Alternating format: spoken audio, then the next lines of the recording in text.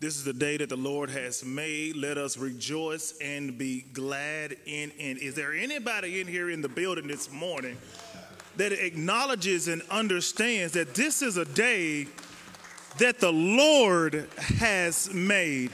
You're, you're right here, right now in this sanctuary because this is a day that the Lord has made. You are in your right mind right now because this is a day that the Lord has made. You have food on your table because this is a day that the Lord has made. You have a roof over your heads because this is a day that the Lord has made. Is there anybody in the building this morning?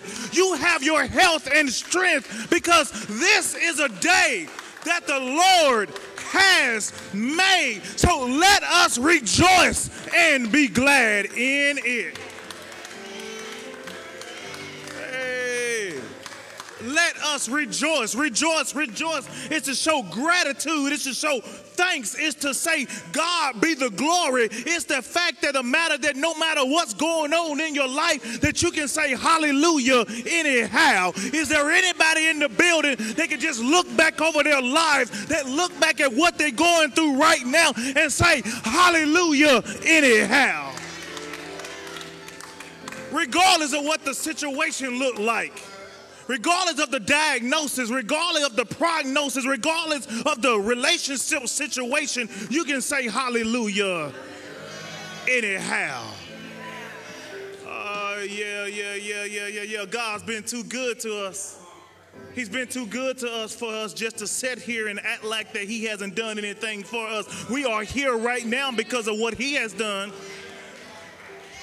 It is he who has made us and we have not made ourselves. And I just want to thank him so much personally for myself that one Friday on a hill called Calvary. I couldn't save myself, that I was still sinning. But the Bible says that while I was yet a sinner, Christ died for me. Therefore, there is no condemnation to them that are in Christ Jesus. Hey, you can stop walking around being shameful. You can stop walking around guilt tripping yourself because there is no condemnation because of what Jesus has done for you. Let us go to the Lord in a word of prayer. Lord, we come this morning saying thank you, Lord just want to thank you, Father, for what you have done for us, Lord. You did something that we couldn't do for ourselves, Lord. We just couldn't get it right, Lord. And you just keep giving us chance after chance after chance, Lord. That's that grace and that mercy, Lord. And Lord, we thank you for that, Lord. We thank you for every day, every morning, it's brand new mercies. Great is thy faithfulness, Lord. Yeah, Lord, we love you so much and we praise you, Lord for just sitting high and looking low, Lord. As watching over your children, Lord, us who make mistakes, Lord, but you forgive us. You said that you will throw our sins as far as from the east to the west, Lord. You will throw them in the sea of forgiveness to remember them no more, Lord. And we thank you for that, Lord.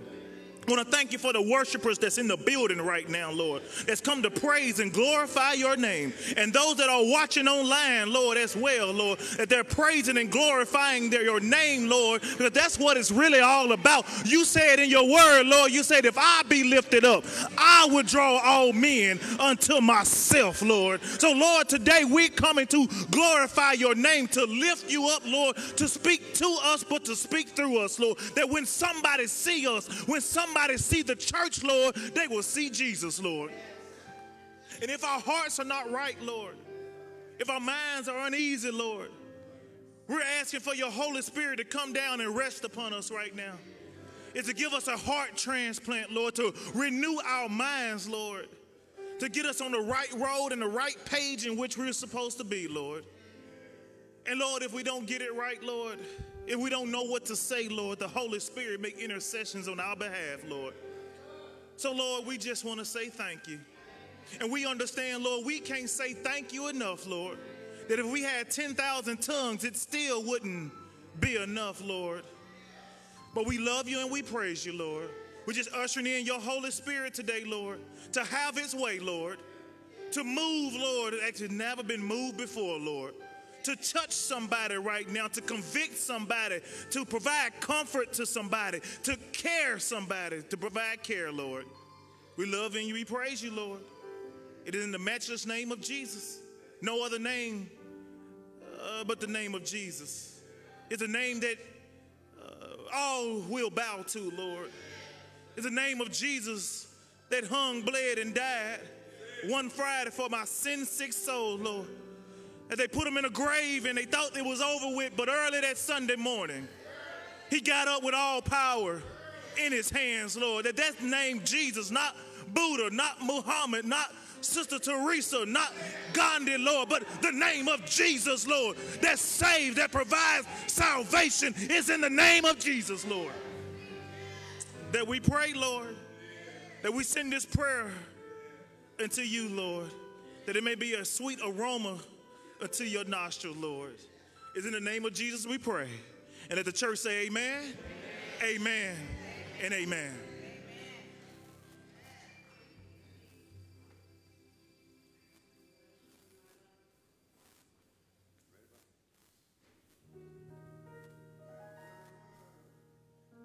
There's a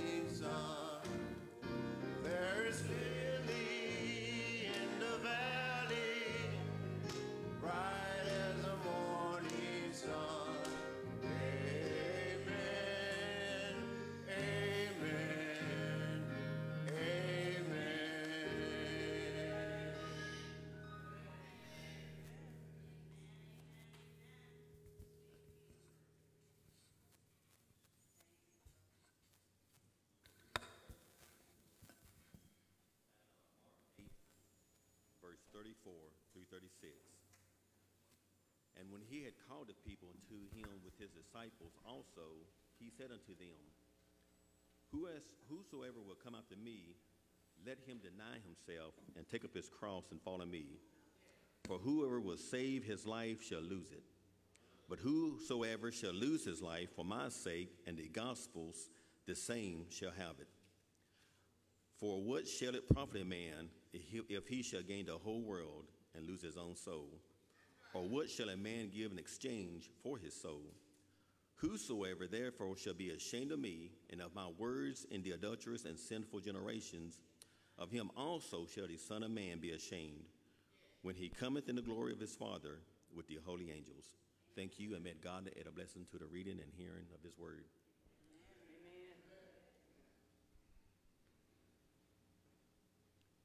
Let us go to God in prayer.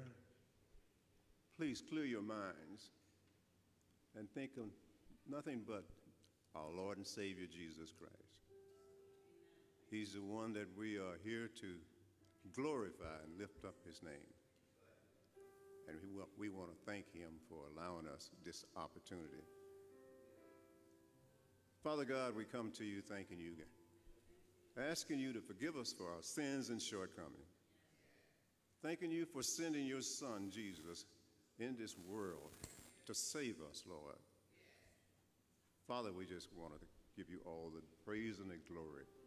We lift you up. We ask, Lord, that you never leave us. Always stay with us, Lord. For, Lord, we need you. We need you now more than we've ever needed you, Lord. This world is in turmoil. And we know, Lord, that only you is the answer to this problem that we have here. We ask you to bless all of the people that are in the sanctuary here, all of those who is in the, on the television looking at us virtually. Bless them, Lord. Let them know that you still exist and you're not dead. You're very much alive. Jesus is sitting on the right hand side of the Father, interceding for us. And for that, Lord, we thank you. You've paid so much for us, Lord. You gave your life up on Calvary's cross so that we all may have an opportunity to the tree of life. And we want to thank you for that, Lord. There's so many things we need to thank you for, Lord, and we can't even mention them in the time that we have here. But we want to give you the praise and glory while we can. Father, bless this city. Bless all the, our officials. Bless the government, Lord, of the state. Bless the ones of this country, Lord, for truly they need it. Father, bless our president. Help him to continue the good work that he's doing. Help us, Lord, forgive those sinners who cause us so much misery and pain. Help us, Lord, to forgive our enemy the way that you want us to forgive them. Help us to be strengthened by all the things that they do to us that cause us to stay on our knees praying to you, asking for forgiveness, Lord. Please, Lord, bring the foolishness out of our church. It seems like some of the Christians here to think everything is funny. You and think it's to be laughed at in some manner. But when their brothers and sisters are trying to do something decent and in order, the communication seems to be broken down. They don't want to listen to the problems and help being uh, help them being solved by the suggestions and things. They want to do things their way, and that way is a, a one way, and it's not of God. It's not spiritual. We ask, Lord, that you continue to stay with us, Lord.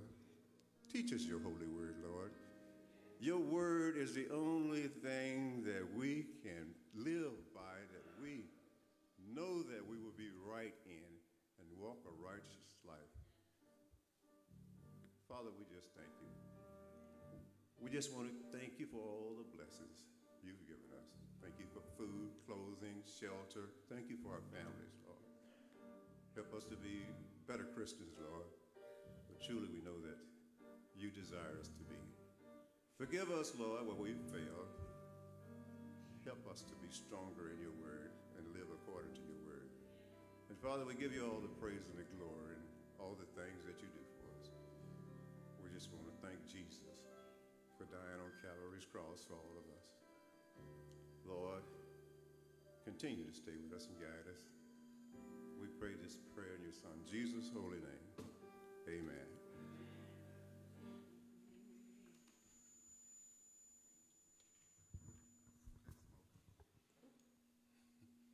Just good. Good morning. Good morning. I need you to do me a favor today. Would you do that for me? Lean to your neighbor and say, Today, God's going to get the glory out of this. Now give him a clap, hand clap of praise.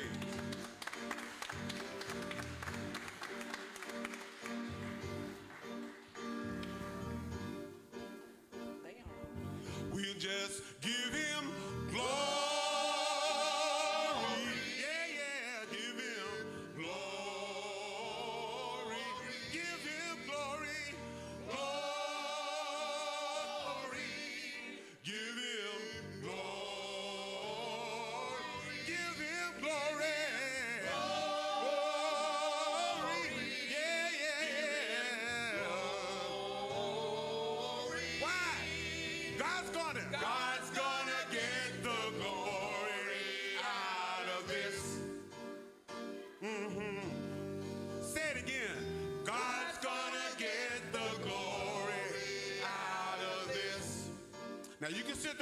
Want to, but we're gonna give God the glory up here, okay?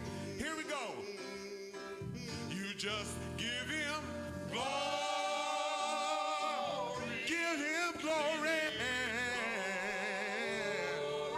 That's all I can do is give him.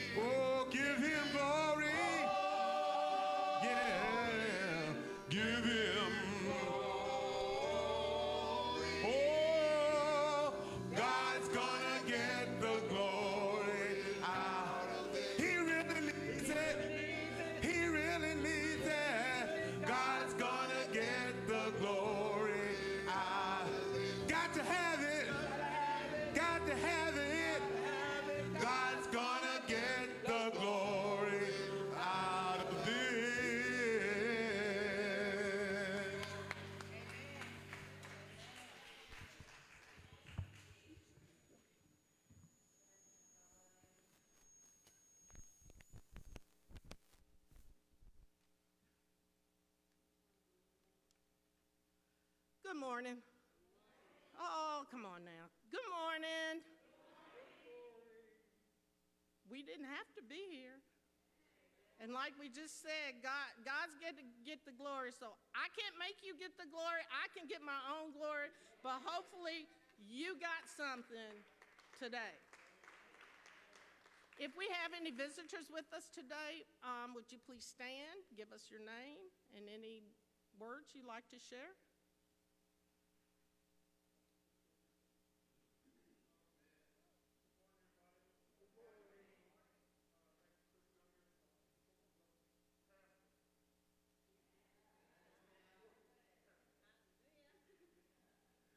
So it's so good to see, see you. Thank you for visiting with us this morning. And you know what? You're one of us now. So anytime you're around this area, please feel like you can come in these doors and, and worship ever how you see fit because you're one of us and come again. These are our announcements for the week. Um, save the date, September 10th, 2022, 9 a.m. Um, Team Jesus.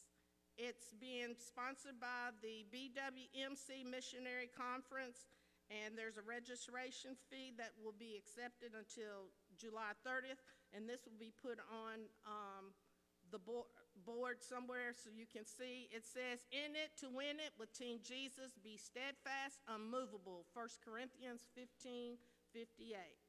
Keynote speaker will be Pastor Sean Sells. On Saturday, August 20th, at 12 noon, just two blocks down the street.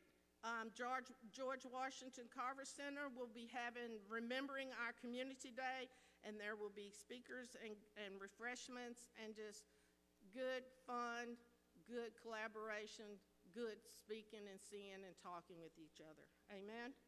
And then uh, two more things. One, I'd just like to, if Pastor Kay would give me permission, I have somebody special who has a birthday today, and I always forget it, and she's one of my besties from, from college, and she's always been there through the thick and thin. So, um, and she's an associate mem- member here at the church. So I just want to say, happy birthday, Jamita.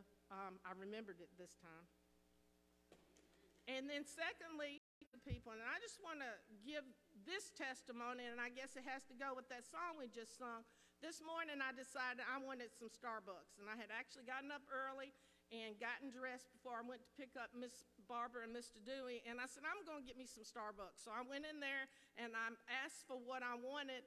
And the lady said, I'm sorry, we don't have strawberries, but we have this other thing if you like to try it. And I just looked at her and I said, You know, I'm kind of disappointed, but I'll try it. And I could have been nasty and walked out and not gotten it, but I just said, I'll try it. And she said, You know what? It's on me today. I know that was just a Starbucks, but I could have been nasty and not had anything, but she blessed me. So when, when, when I got my order, I had to say to her, I felt like I needed to say to her, thank you and be blessed. Because she didn't have to do, she didn't have to do that. So I guess what I'm saying is if you're nice to people, even if you don't like what they say, but if you're nice to people, you might get a blessing in return. And I really appreciate, I know it was just a Starbucks, Pastor K, but you know what? I could keep I could keep my gift card in my pocket and use it for another day. So just just be a blessing in some way. And if somebody does something nice to you, please say thank you. Please say thank you. So this is from our pastor's corner. We bring good we bring God glory. Hmm. Give him glory. This wasn't planned, right? We bring God glory by loving other believers. When you are born again, you become a part of God's family.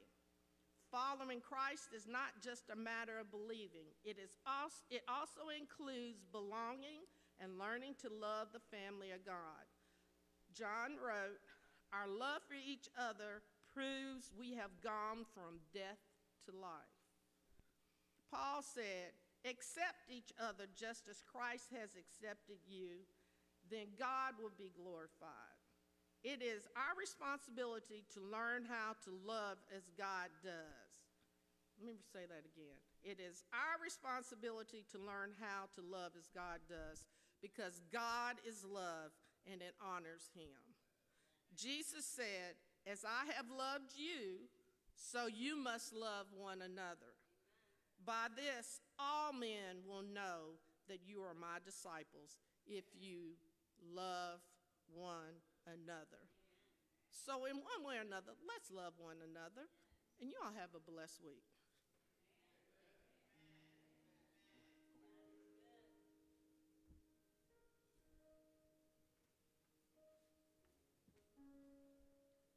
Two things. Number one, yesterday we had our leadership meeting, and all of those who wanting to be leaders have to attend these meetings. The next meeting is on the 27th, which is a Saturday. It starts at 10 a.m. and ends roughly around 12, 1, 2, something like that. But anyway.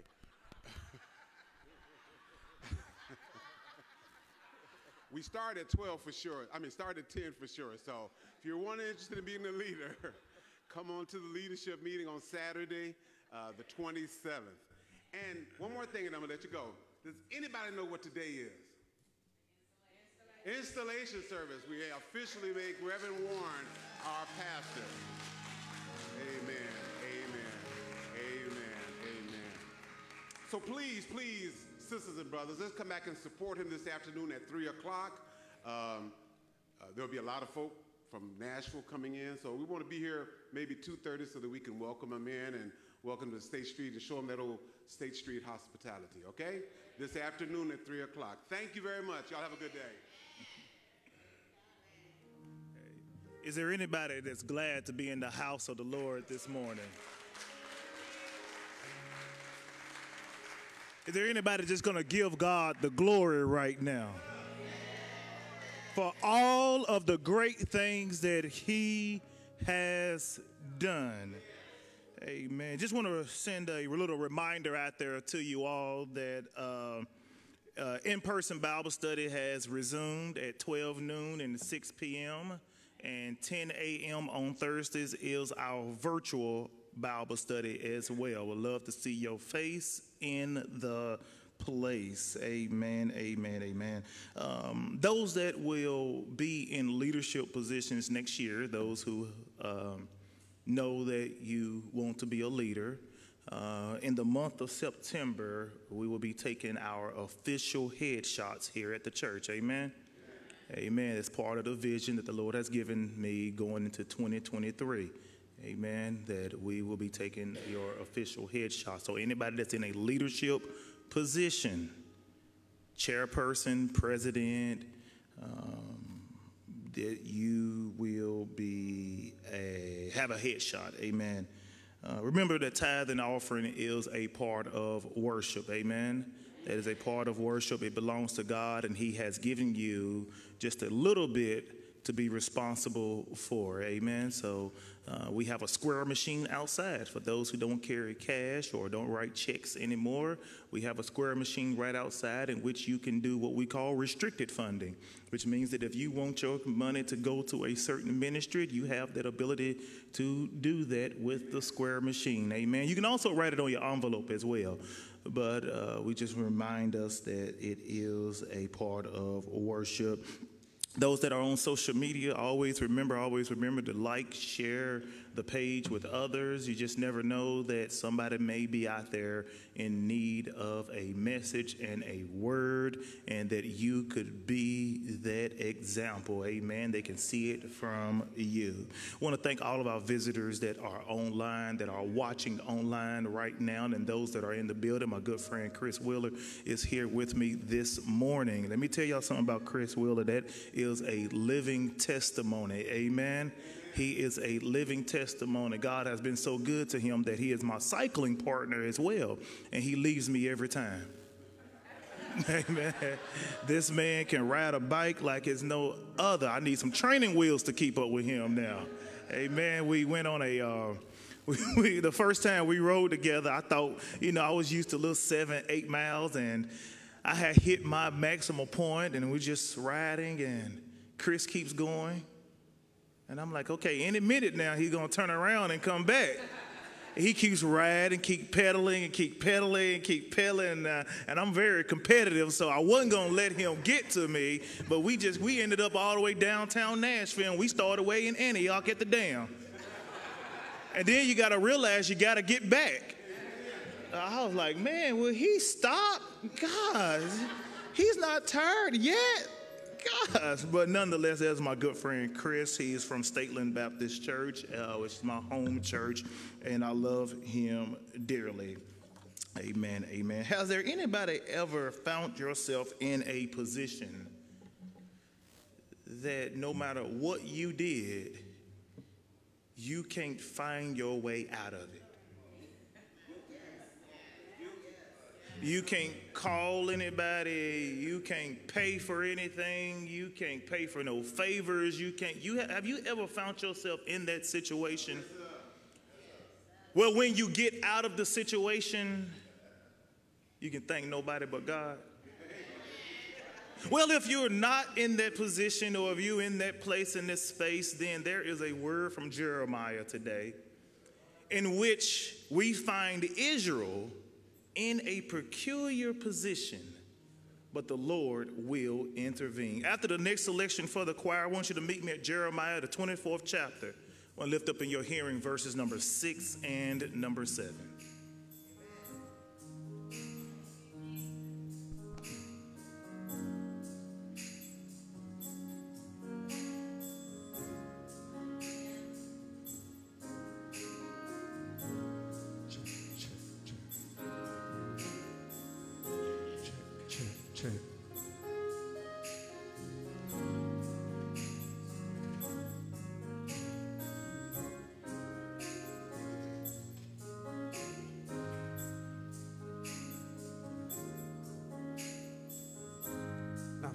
Falling in love with Jesus. Falling in love with Jesus. Falling in love with Jesus was the best thing I ever, ever done.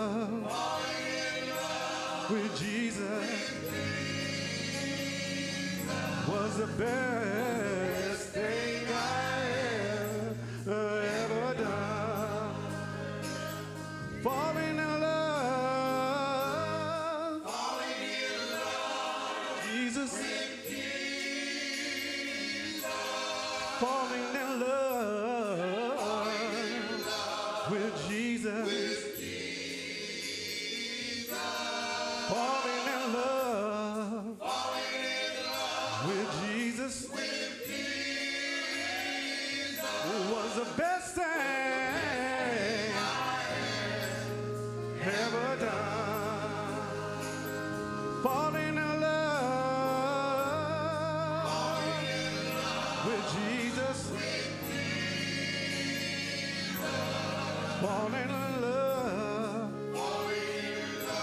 With Jesus. Falling in love. With Jesus. He's so good. He's so good. Yeah. Ever done was the best thing I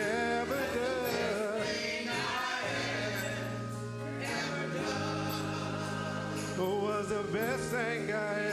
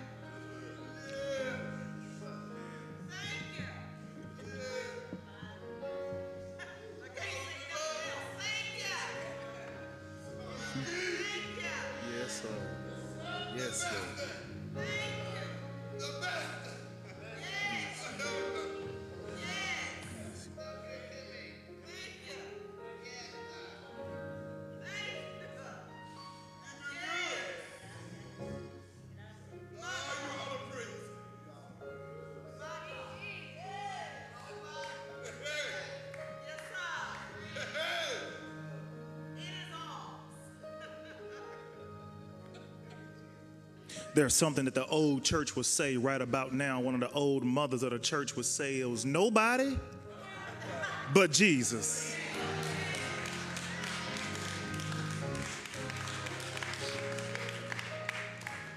And if you don't understand what everybody is praising and shouting about right now, then they had another saying where they said, Baby, just keep on living.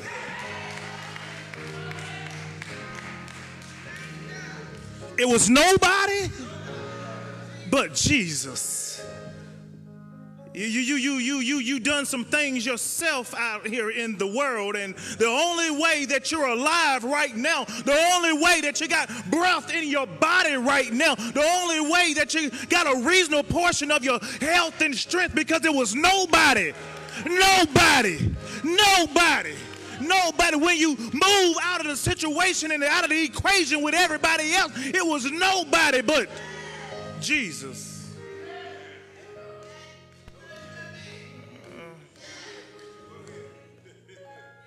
I'm reminded of a story. I got to get in this text. I got to get in this text, but I'm reminded of a story with a man named Hezekiah. Hezekiah had received word that he was about to die. And, and he was king. And the Bible says that he, he had princes and uh, wise men all around him. He had counselors all around him, but he turned his face to the wall and talked to the Lord. And before the prophet was able to get out of the city, the Lord told the prophet to go back and tell him that he should live. Somebody said it like this just a little talk with Jesus.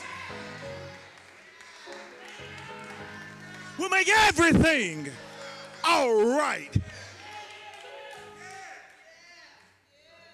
Yeah, I gotta, I gotta get in this text. Y'all, y'all, y'all leave me alone this morning. Y'all leave me alone.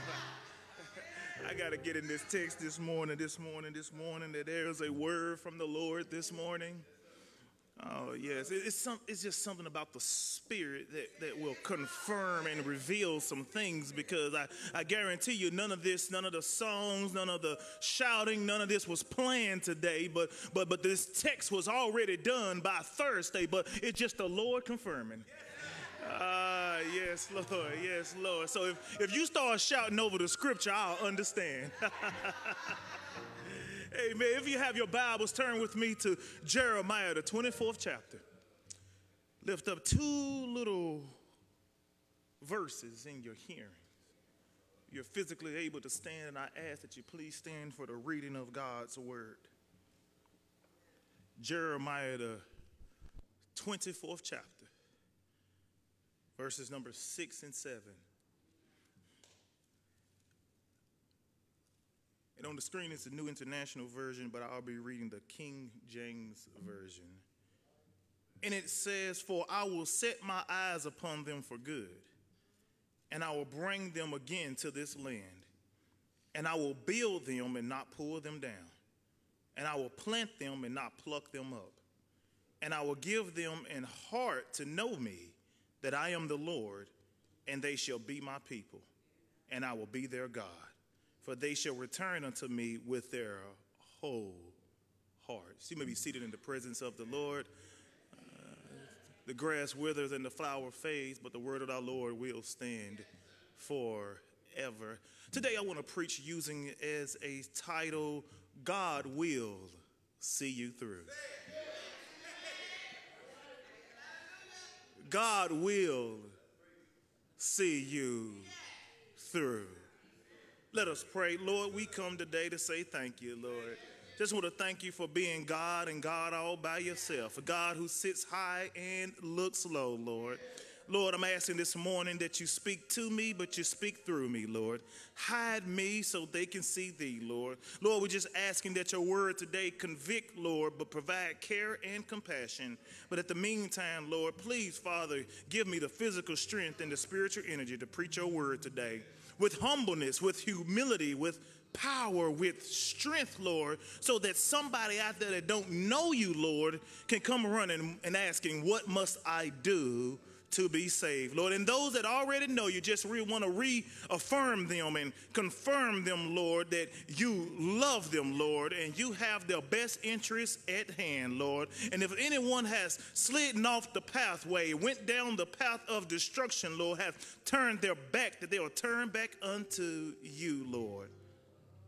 Now let the words of my mouth and the meditation of my heart be acceptable unto thy sight. O Lord, my strength and my redeemer. And the church all together say, Amen. Amen. God will see you through.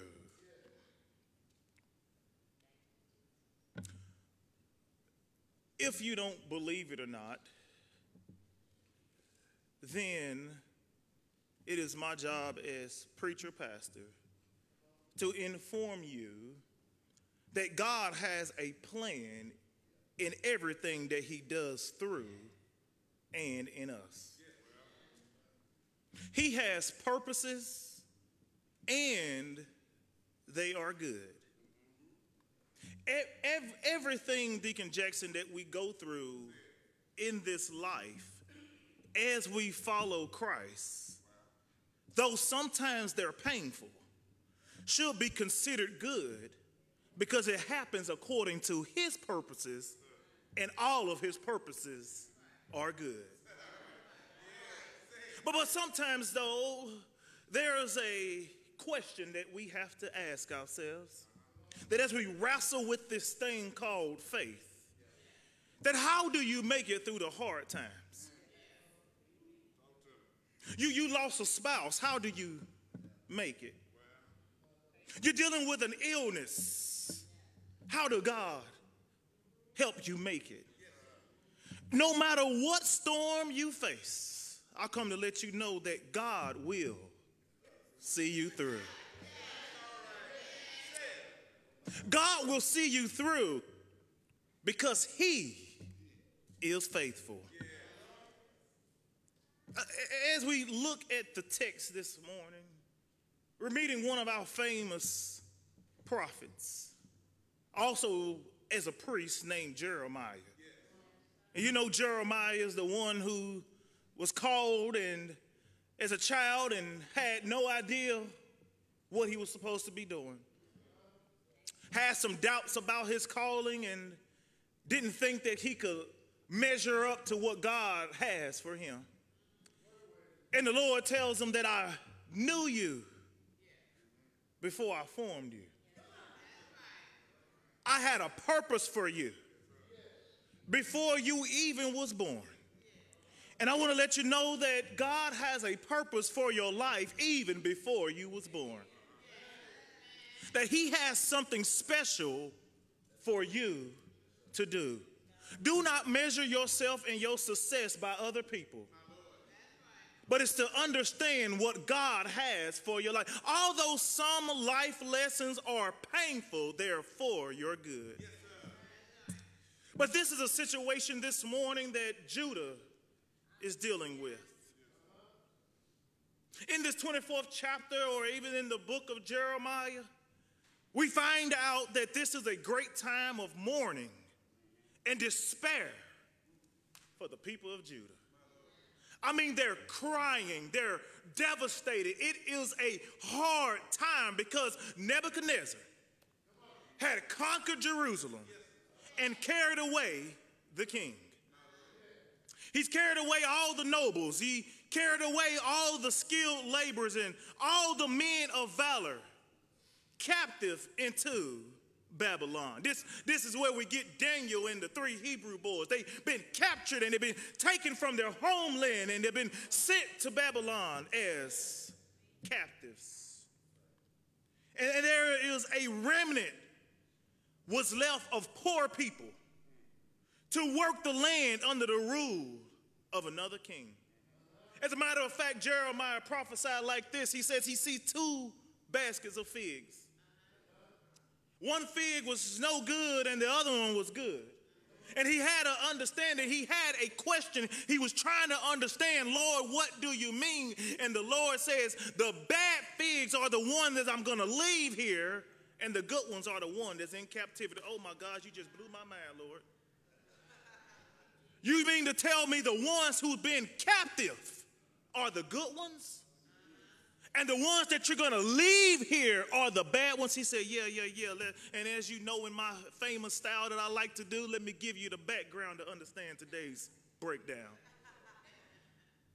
Because Joshua is off the scene. And y'all know the story that Moses had freed the Israelites from the Egyptian rule, crossed the Red Sea on dry land. Manna comes every day, snake bites. They decide to make a golden calf. He talks to the rock. The rock spits out water. He hits the rock. The rock spits out water. He disobeys God. He can't go into the promised land. Miriam and Joshua, Miriam and Aaron, they talk about Moses and what he did. They're formed with leprosy. They can't go into the promised land. They send them over to the promised land to spy out the land. They come back and they have self doubt and self pity. They don't realize that God can do certain things in their life. They come back and there's 12 of them and 10 of them said we can't do it and Joshua and Caleb said we can do it. And for that, they turn around and for 40 years they're marching around the mountain. But let me let you know something that you can march around the mountain, but God is still in your presence.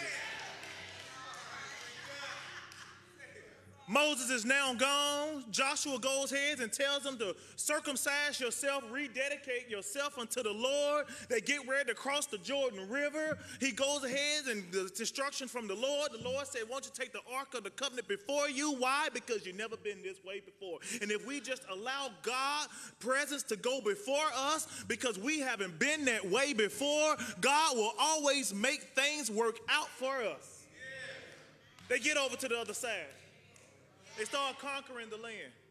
They start inhabiting the promised land. And God is letting everything fall in place.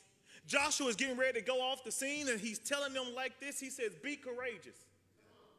He says, For me and my house, we're going to praise. I don't care what you do, but as for me and my house, we're going to praise the Lord. He says, Be courageous, be of good cheer, because the Lord is with you. He guides you. He's there for He will not forsake you. He's always there with you.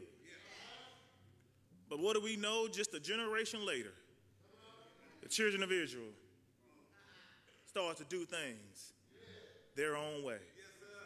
The Bible says that they started to do things in their own eyes. And then they allow some of the occupants in the promised land to stay there and didn't drive them out like they were supposed to.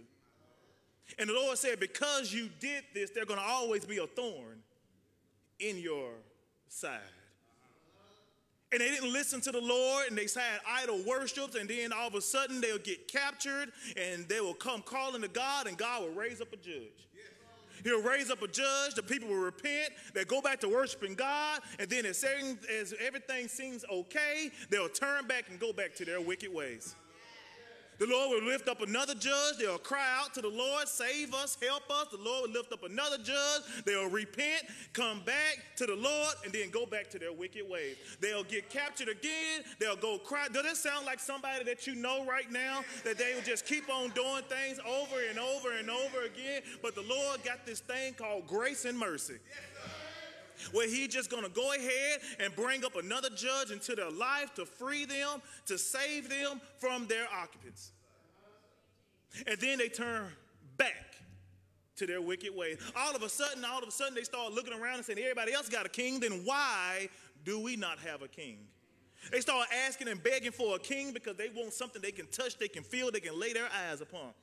And Samuel gets upset. Samuel gets mad. Samuel doesn't understand that why in the world do you want a king? And the Lord tells Samuel, it's not you that they turn their back on, it's me. For I am their king, but they have turned their back on him. But let me go ahead and appoint Saul. And the Bible said during his inauguration, Saul was hiding because they decided to pick a man that looked good and didn't have the courage to do good.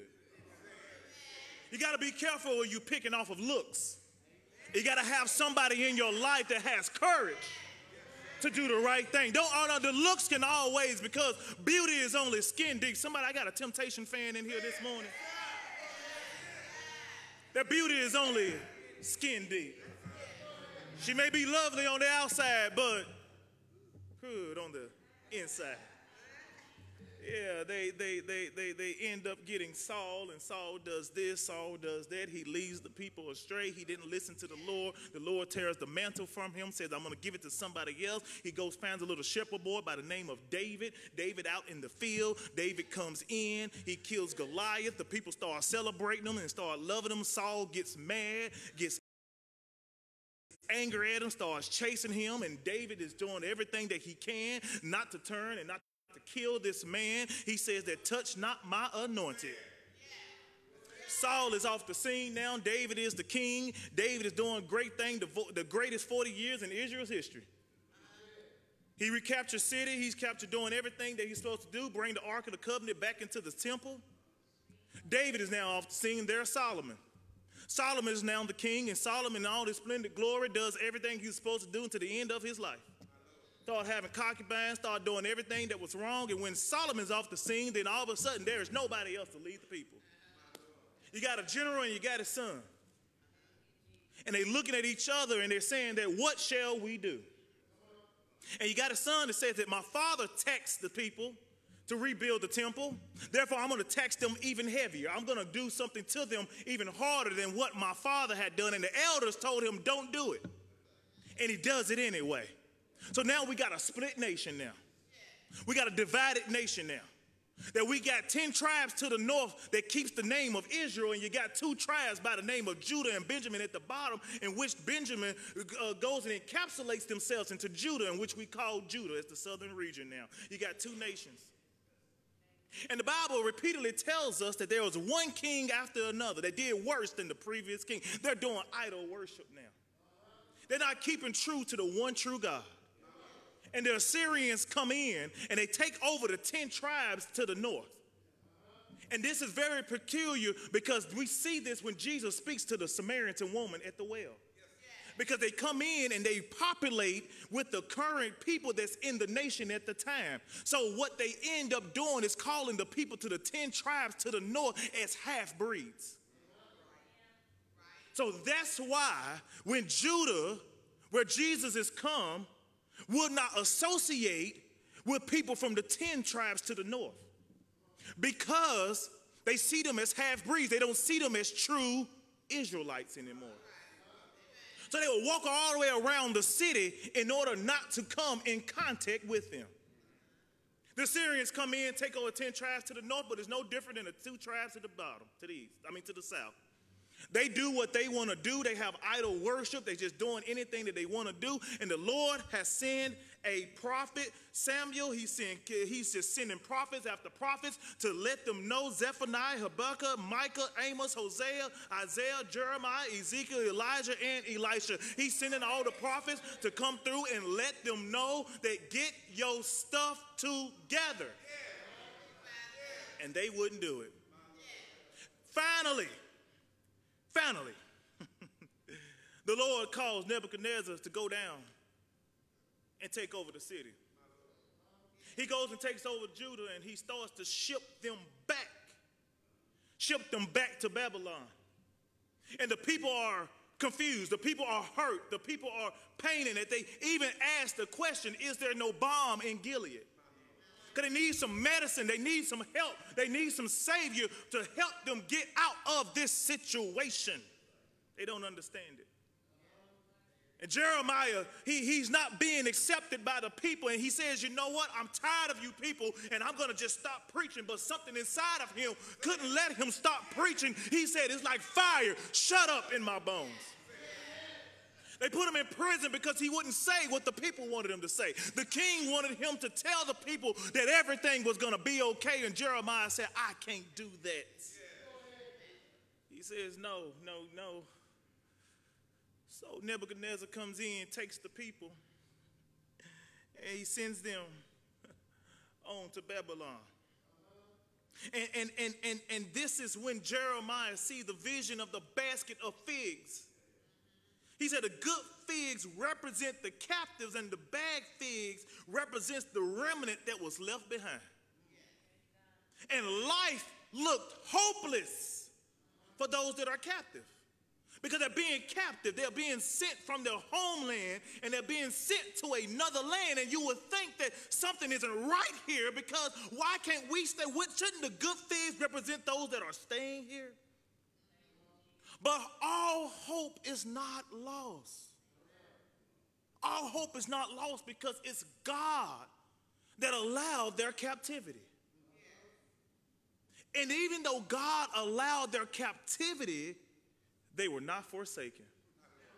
And I just want to just see if there's anybody in the building that has found themselves in some situations at times that don't feel good. And God is not, sometimes He's punishing you, sometimes trying to get you on the right road. And it seemed like God has abandoned you, but then I let you know that He has not forsaken you. Sometimes God allows things to get you back on the right road in which you're supposed to be in the first place. Judah's corruption was a result of individual choices. The people chose to abandon God. And although the frustrations of life, just as Judah was a result from their own mistakes, however, there are some promises for those who abide in the Lord. God has made some promises to those who seek him. That's why he said those that are in captivity are the good figs because I'm going to allow them to continue to worship me. If you continue to worship me, although you're going through the frustrations of life, I will see you through. Uh, uh, this, this is the first point that I want to raise, and we got to understand that God will respond.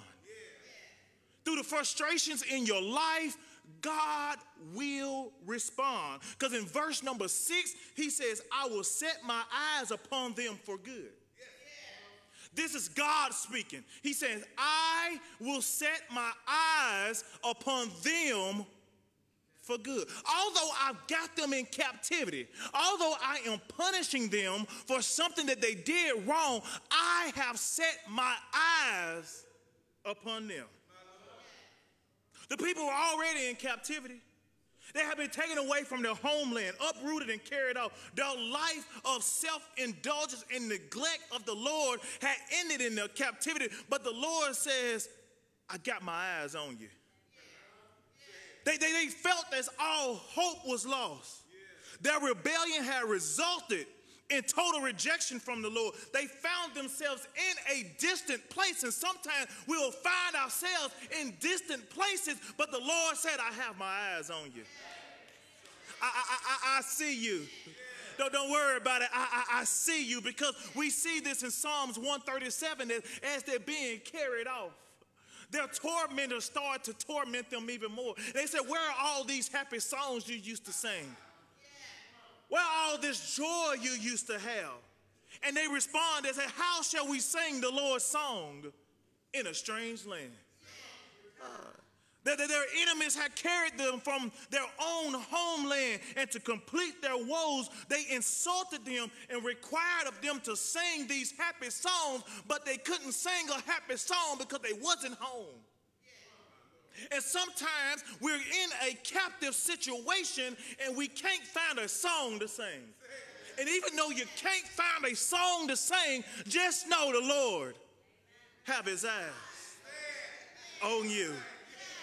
Uh, as they faced the reality of what their sin had caused, they felt abandoned by God. But God is merciful. He is a God of mercy, even in chastisement. Even if you feel like he's not there, even though he's doing something to you that you don't agree with, it's something that you had did wrong, and he is chastising you because the Bible said those whom he loves, he chastises. Uh, he has not forsaken his people. He says, I got my eyes on you. I see you. I hear your prayers. I'm watching over you. God is always aware of where you are. No, no matter what you're going through in this life, no matter what you go through in this world, God is always aware of where you are and what you need. Even though you can't even sing a song of Zion, He got His eyes on you. Your prayers are not in vain. Your complaints will not go unanswered. That's why the songwriter says that, oh, why should I be discouraged? Why should I fear? His eye is on the sparrow. Therefore, I know he watches over me. He says that his eye is on the sparrow, the smallest bird there is. And if God has his eye on the sparrow, then I know he watches over me. Uh, but not only, not only, not only, not only will God said he will respond, he said, I'll do two more things. He said, I've heard your prayers and I'm going to answer them. But this is how I'm going to answer your prayer I'm going to restore and repair. Hold on, you, you, you got us in captivity. You're you're, you're, you're paying us the wages for what we have done, Lord. And you're saying that you're going to hear us and you're going to restore us and repair us. He said it like this He said, I will bring them again to this land. He says, he's Jeremiah, tell them that although they have left their homeland, I am going to bring them back. Now that all, uh, during the times when God takes something away from you, it's, it's, it's easy to feel duped. Because the Lord's generosity can be misunderstood as cruelty. See, see, many of them probably wondered if they'll ever see home ever again. I mean, as they're being captive, if they're being sent to Babylon, they're wondering, will we ever see this place ever again? Would they get to enjoy the abundance and the beauty of their homeland? They were no longer free to enjoy the benefits of God's blessing. And, and, and what God wants them to really understand is that are you satisfied with the gift or the giver? He, he says, Are you happy with the gift or the giver? Because if you're happy just with the gift, then when the gift is taken from you, you'll be down and out. But if you know the one who gave you the gift in the first place, if you know the one who has all the blessings in the first place, that no matter where you are, he can still take care of you. No matter what you're doing, no matter what situation you're in, he still got you because he got his eye over you and he said, I'll restore and repair. Why? Because I will see you through. He says, I will see you through. He says, basically, I'm going to return you. You are going to recover. It's going to be refreshing. I'm going to put you back. He said, that, that, that's what I am going to do. That's why Joel says in 227, he says that I will restore the years that the swarming locust has eaten. He said, I will build them up and not pull them down. He, he's talking to people that he's punishing at the same time. I, I just never understood. My mama used to whoop me as a child. She used to whoop me, and at the same time, she'll say, I'm doing this because I love you. I couldn't understand why you're punishing me, and then you're talking about you love me at the same time. And that's exactly what God is saying right here that I'm punishing you right now, but because I love you, I'm going to restore you. All is not lost. the people, through their eyes, all is gone. Their homes have been destroyed. The temple has been ravished. Families have been separated. Life as they knew it had completely fallen apart. This proud, blessed people have been reduced to slaves in captivity. And God has promised to rebuild their lives that's been destroyed. He will once again build this people up and not tear down as the Babylonians had. And I just want to let somebody know that God is not just going to bring you back, He's going to make it better than ever. Now, whatever situation that you're in, whatever problems you're dealing with, whatever situation that you're in, what roadblocks you're facing, that God is going to bring you back and it's going to be better than ever. Whatever has torn you down, I want you to know that God can repair it. Whatever have your mind up at night that you can't sleep, God can repair it. The situation, the health crisis that you're dealing with, God can repair it. The children that you're dealing with right now that seem like they don't want to listen to you, seem like they don't want to come to church, seem like they don't want to be a part of anything, God can repair it. And here it is God is pledging to restore his repentant people to a place of blessing after judgment. If you've been to Bible study, you understand what that word blessing means. The kairos, meaning God's divine approval, his stamp of approval. That God says, You're going to have my stamp of approval, and I'm going to bring you back to where you once, where you once were. That's why I understand that every time I talk to Sister Buffy, I said, How you doing? She says, I'm blessed. Because she realizes that she has God's stamp of approval. And I just want to know is there anybody in the building that understands that you have God's stamp of approval? That you are blessed beyond measure. It's nothing that we can do to ever receive it, but it's this thing called grace and mercy. Uh, but here's the thing that having God fix the issue does not mean that all our problems instantly go away.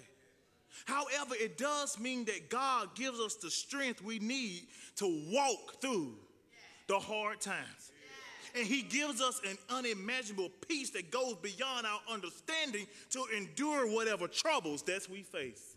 That's how He repairs. But then He says, not only will I restore and repair, when I respond.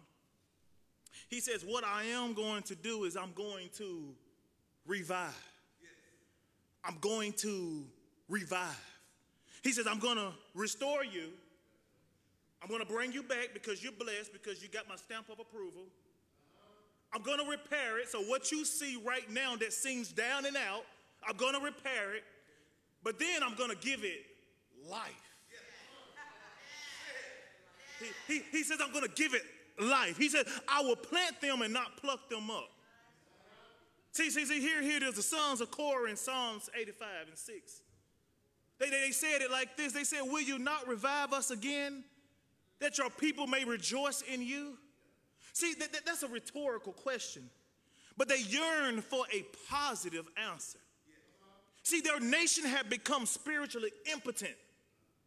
They have forgotten about God. They didn't care about God. They did everything that they wanted to do. And he says that the joy that we once had, the fellowship with the Lord that we once had, is now gone. And they needed to come alive in God. They need to revive. And I like that word revive because for my English majors in here, you will understand that the word revive is a transitive verb, is an action word, is a transitive verb. It's characterized by transition. In so many words, it's a process. It- when it first starts, it doesn't look like it does when it ends. Okay, okay, come here, come here, come here. It, it basically means to restore to consciousness of life, to restore from a depressed, inactive, or unused state to renew in the mind or memory. God is saying that there's something dead in your life, but I am going to give it life. Right now, in the very beginning, it looks dead. It looks dim. It looks like it's destructive. It looks like it's demolished. Look like it's not going to happen, but it's a transitive verb, which meaning that what it's going to look like on the other side is not what it looks like right now that right now your situation look bleak. It look like God is not working in your life. It look like that everything that you had just a year ago, Sister Kayla Bailey sat there and just looked like that probably nothing is going right. Her husband is sitting there with her day in and day out, but look at her right now that the Lord has revived her. That it's a process that now she's in the choir stand and she's singing. I saw her on Wednesday. She came came out to choir practice and she drove herself. That's how God revives. It don't always start out the way it ends. It's a transitive verb. It's to carry through. It's a resuscitation. Because something is dead and you start CPR on it. But the end result, it lives. When you started, it was dead. When you finish, it's alive. And that's what God is saying that right now there are some dead spirits in the house, but I'm going to revive you. State Street may look dead, but we're going to do some CPR, and State Street is going to live. Hey. That, that, that's why I like the song that said, We praise thee, O God, for the Son of thy love, for Jesus who died and is now gone above. But they said a refrain like this uh, from our music majors. They said, Hallelujah, thine the glory. Hallelujah, amen. Hallelujah, thine the glory. Revive us again. Is there anybody in their life that just want to ask God just to revive me just one more time? Uh, he says, uh, when I respond, when I respond, I'm going to restore you. I'm going to bring you back. I'm going to repair you. I'm going to build you back up. I'm going to give you new life. And after I do that, then I'm going to reward you and remain with you. That's it, I'm done. He says, when I respond, I'm going to restore you. I'm going to bring you back. Okay? When, when, when I bring you back, I'm not going to just bring you back and leave you there. I'm going to repair what was broken in your life.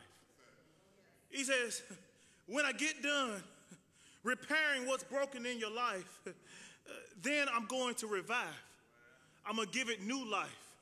I'm going to bring it back to life where you get the glory and the honor unto me. That, that, that's what I'm going to do. But then I'm going to reward you and I'm going to remain.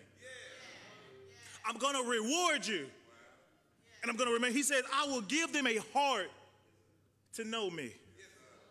That I am the Lord and I'll be their God. See, see, the very thing that resulted in their captivity was a heart that was hard towards God. And they wouldn't recognize God Himself. And, and He says, once I respond by restoration, I'll respond by repairing. And once I respond by reviving, I'm going to reward and remain with you. See, once the people were brought again into the land, God was going to give them the very thing that they needed the most.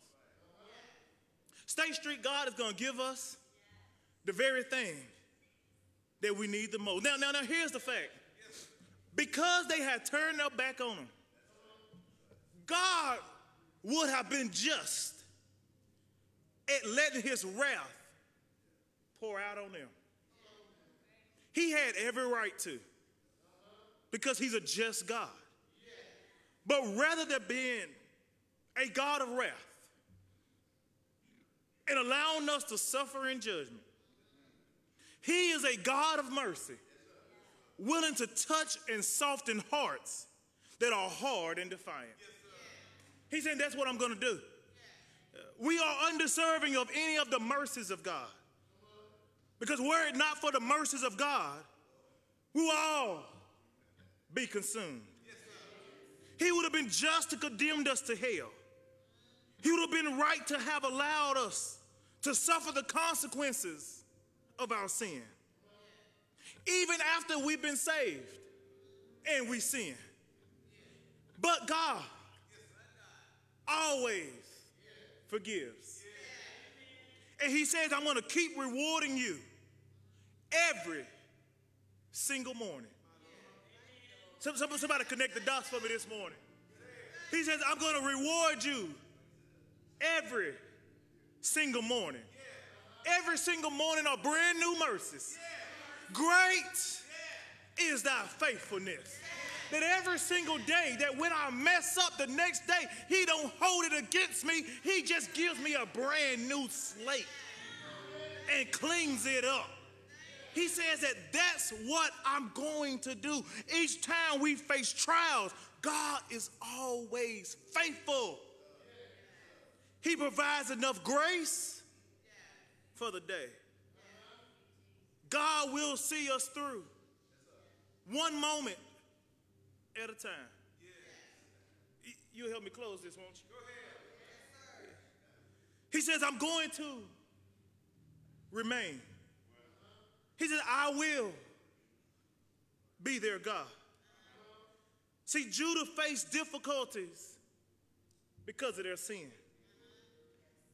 And they were responsible for the hardships they endured.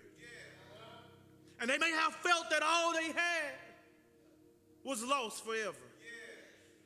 But he's saying to them, he said that I was your God before the captivity. And I'll remain your God after the captivity. God had not forsaken them. And he says that I never will. He says that I'm going to remain with you forever and ever. Forever and ever. That once I restore you back to your rightful place. And I just believe that there is somebody in the house today that may feel that God will never respond. You may feel that God may never restore. He may never repair, revive, but God says, I will reward you and I will remain. That you will recover. Can I let you know why you will recover? Because God will see you through. No matter what you go through in this life, that God will see you through. That we all face times of difficulties. And we think that God may have abandoned us, but He is still our God. He is the Almighty. He is the great I am.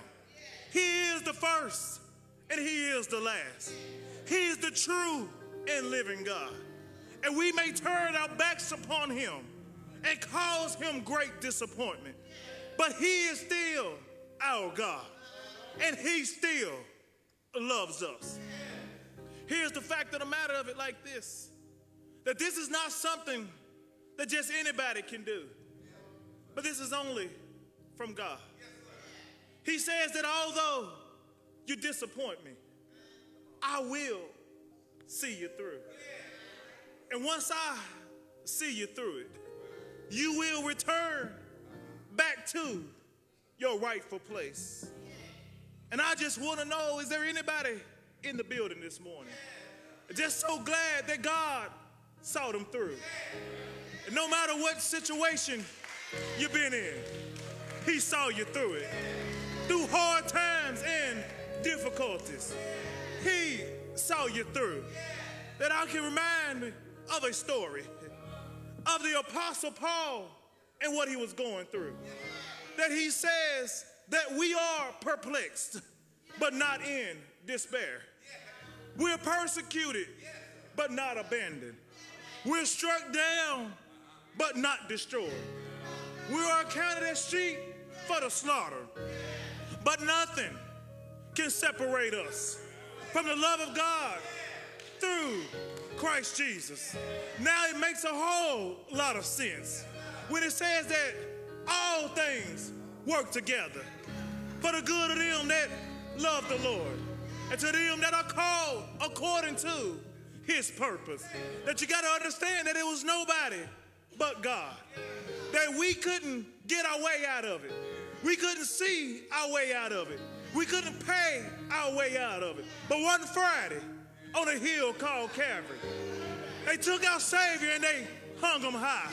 They took our Savior and they stretched him wide. And our Savior died for us. Didn't he die? I'm so glad he died. But they took him off of that old rugged cross. They put him in a borrowed tomb where he stayed there all all day Saturday. But early that Sunday morning, he got up. He got up with all power in his hands. It was only through the Lord.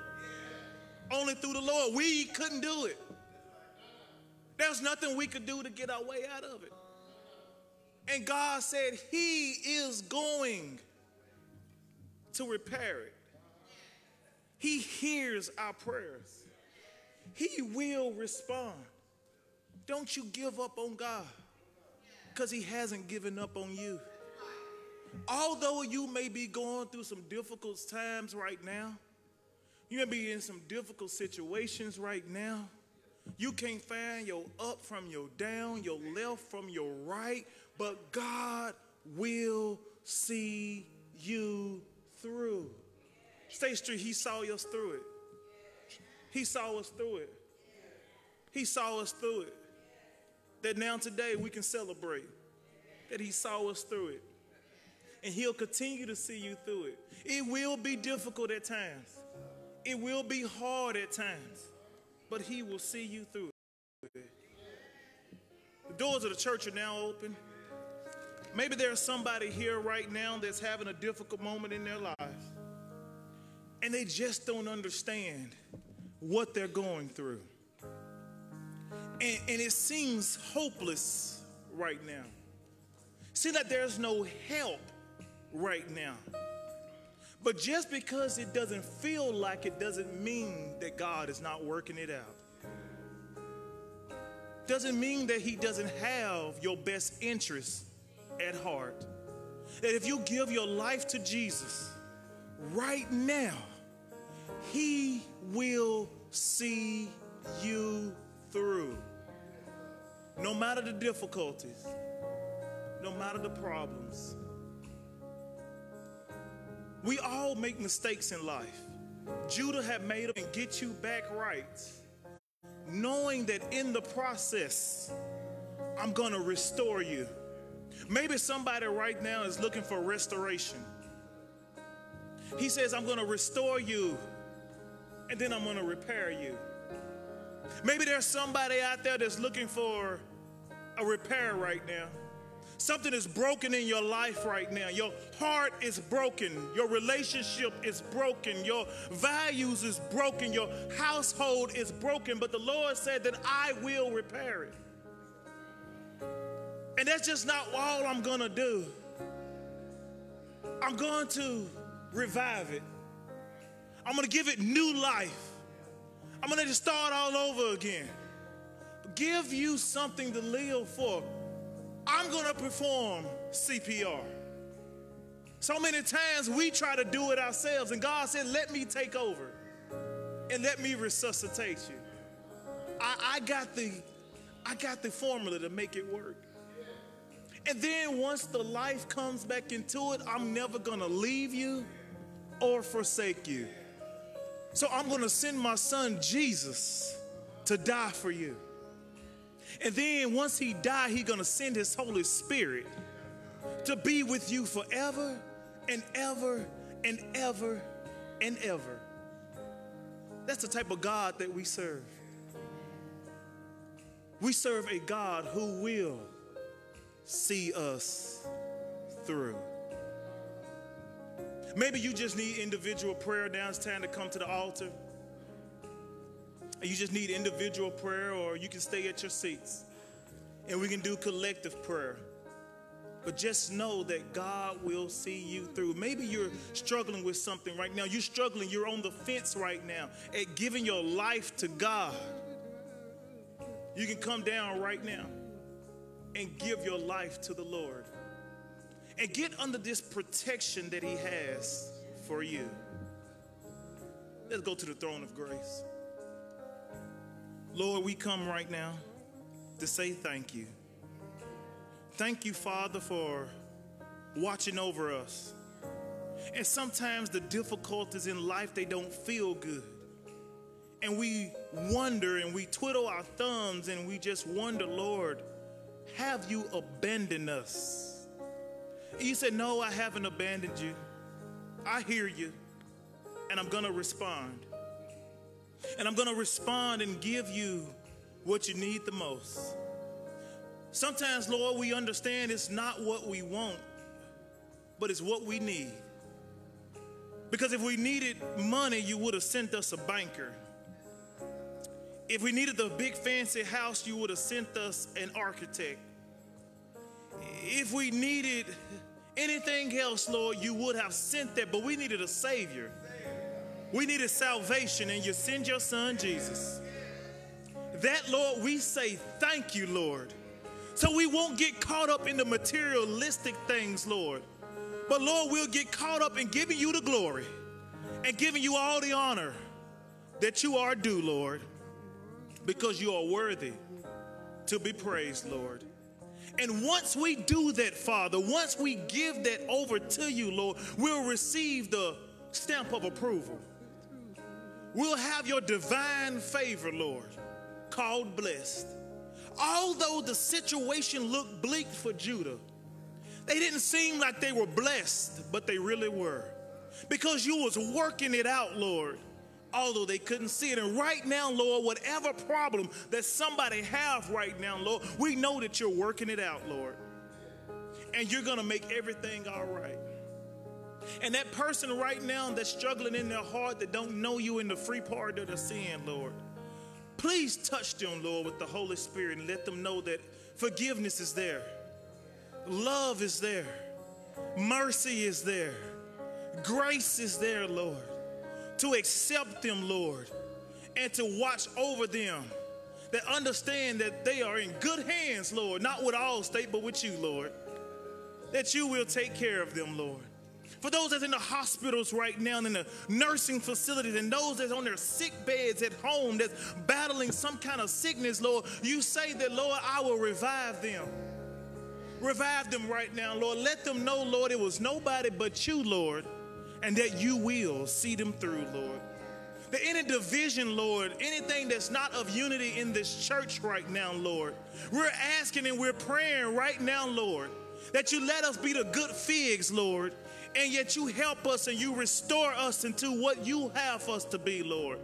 That you let us be the pillar of this community that we once were, Lord. That we won't turn our backs on you, Lord. That we will constantly remain with you and you with us, Lord.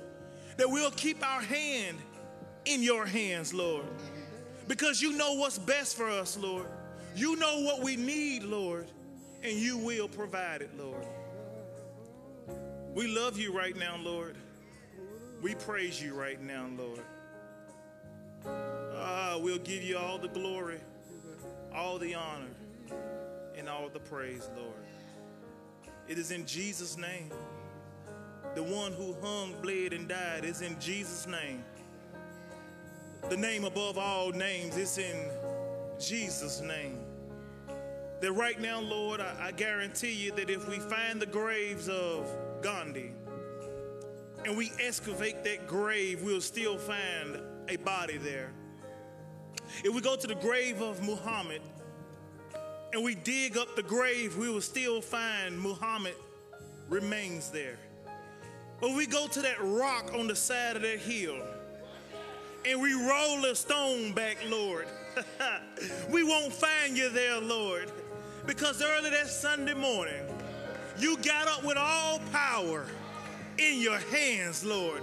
And that same power that got you up from the grave is that same power that resides within us, Lord. So, Lord, we just asking that you teach us how to tap into it. You teach us how to use it to edify this body, Lord, and glorify your name. So, Lord, as we close this prayer and we seal it, Lord, we say it's in Jesus' name. Jesus' name that we will restore. It's in Jesus' name that we'll be revived. It's in Jesus' name we'll be repaired. It's in Jesus' name that we remain with you, Lord. It's in Jesus' name that we have our reward, Lord. We love you, Lord, and we praise you.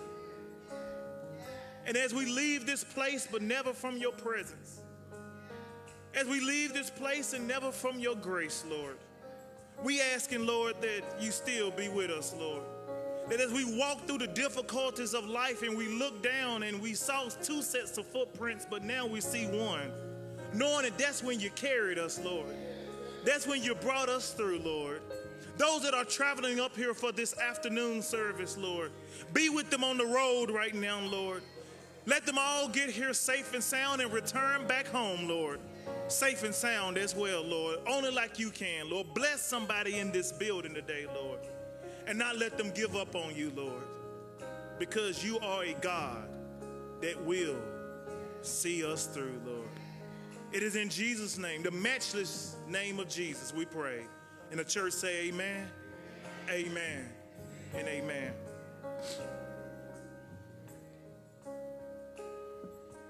God will see us through no matter what we go through in this life, He will see us through the difficulties. Somebody is grieving right now, but the Lord will see you through. Somebody has some difficulties on their job, but the Lord will see you through. State Street, we got some issues and some problems, but the Lord will see us through. Just want you to know that God loves you and He is with you forever and ever.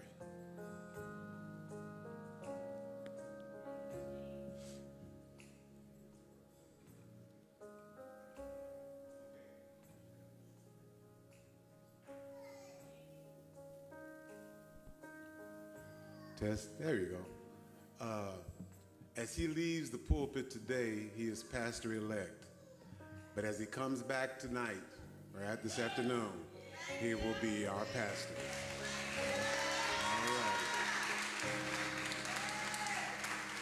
Thank you very much. You're dismissed. I need to see all deacons down here, please. All deacons in the house, come down here, please.